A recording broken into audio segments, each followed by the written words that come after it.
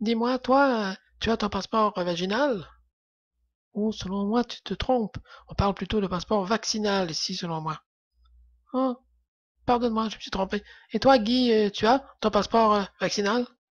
Bon, moi, hier, je me suis fait refuser l'entrée à la salle de bain du centre commercial parce que je n'avais pas ce fameux passeport vaccinal.